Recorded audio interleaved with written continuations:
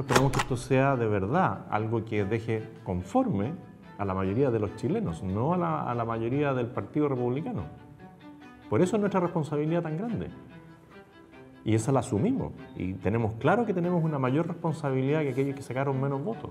Pero espero que nadie diga que aquí hubo una pasada de máquina. Porque nosotros no actuamos así. Porque son mayorías también que pueden ser mayorías circunstanciales, como nosotros le dijimos a la izquierda. No se crean el cuento de que ustedes tienen la mayoría de los chilenos.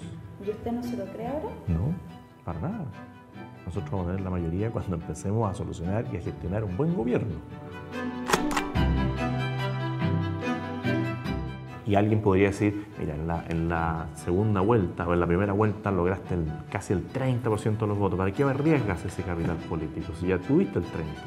¿De qué sirve haber sacado el 30% si nuestras ideas no siguen avanzando? Entonces, no es nuestra obsesión eh, la moneda. Si hubiese sido nuestra obsesión, a lo mejor no le habríamos ayudado a Sebastián Piñera en la segunda vuelta el año 2017. Y nosotros estamos trabajando en esa consistencia para que si algún día nos toca la responsabilidad, a mí o a otro, de llegar a hacerlo bien. Si hacerlo bien implica que el que venga después de uno sea de la misma línea política. Yo creo que la derecha está más cerca de llegar a la moneda. Y si es un republicano, feliz.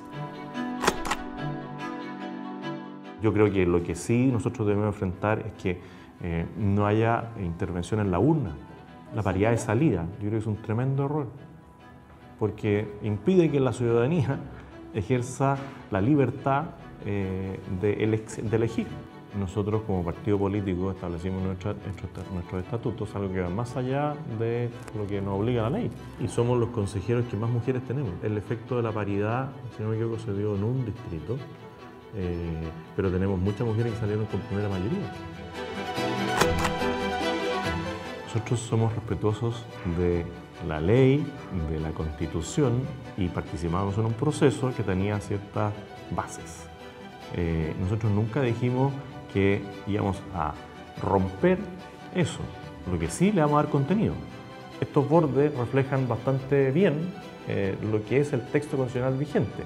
Este proceso es absolutamente distinto al anterior porque hay eh, 24 personas que tienen quizás más conocimiento jurídico, no digo que no sean cada uno de un sector político, pero que han dado muestras de que eh, la manera en que han trabajado es absolutamente distinta del frenesí que existía en el proceso anterior. Muchos esperaban de nosotros una celebración eufórica el día domingo y nosotros dijimos, no hay nada que celebrar, no hemos ganado nada. Bueno, yo creo que eso habla de la responsabilidad eh, con la que hemos tomado este desafío.